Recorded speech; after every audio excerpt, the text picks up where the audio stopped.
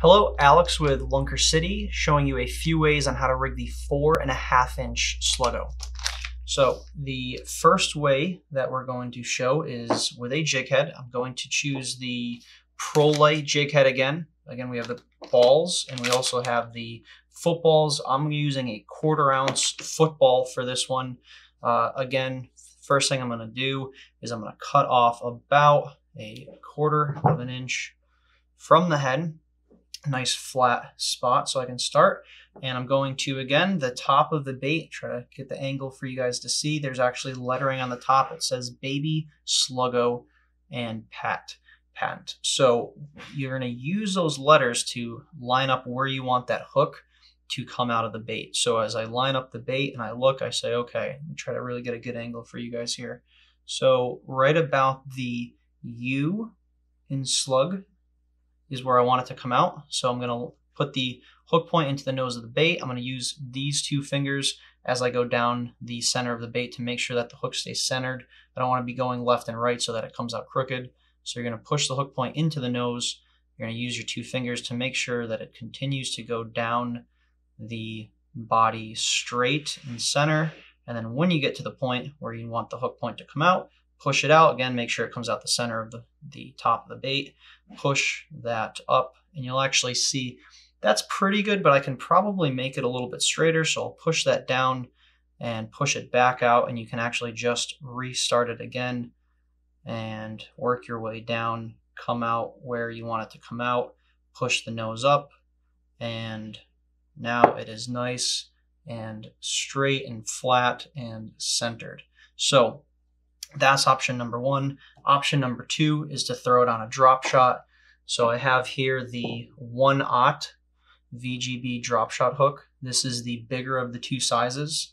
This is what it looks like right here. So the reason I'm opting for the 1-aught instead of the number 2 is because this is a little bit bigger bait, a little bit fatter head, and I want to have enough room when I nose hook this uh, so that the hook is exposed and the fish can get hooked easily. So you're just putting it right through the nose, coming right out the top, right in the center, and just like that, nice and easy. I have a quarter ounce Bakudan lead drop shot weight that I'm using for this drop shot setup. So that's option number two, and I'll just show you on the front camera here what that looks like. So you have the 1-aught, which is the bigger size VGB drop shot hook on the four and a half inch Sluggo, all the way down about 12 inch leader, down to a quarter ounce Bakudan drop shot weight. So that's option number two. Option number three is to rig it weightless. So you have the option of actually using a 2-aught Texposer, or if you wanted to, you can also use the 3-aught. So uh, I'll show you both, and if I line up the bait right here, you have the 2-aught size, which I think fits pretty nicely. The 3-inch size is a bit bigger, and it's going to sit a little bit further down the bait. Now, once you get to the point where the hook is going past those two indents or slits in the uh, body of the sluggo, you really start to hinder the action of the bait. So I'm going to opt for the 2-aught, but you can use the 3-aught if you want to. So same thing, line up the hook along the side of the body and you want it to come out. It looks like right about the G and the word slug at the top of that. Try to get the right angle for you guys so you can see. So right about the G and slug. So put the hook of the point into the nose of the body of the bait. You want it to come out. So push it push it just past the just past the barb. Make sure that it comes out the center of the bait.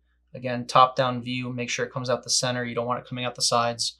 Push it up to the top of the hook. Do a 180 turn where the offset is and you'll actually see the nose of the hook, the eye of the hook is hidden, and that's okay. You want the nose of the hook going over the knot of the eye, and it actually protects the knot of that, um, the, the knot on your hook. So line that up. You then go through the center of the belly again and come out the center of the top. And that is what is going to give you a nice straight bait. You'll see the top Try to try to get a good angle for you guys. The top the top of the hook is coming out the center, and when it goes through the belly, it's going in the center and out the center. And that's what's going to give you a nice straight rig.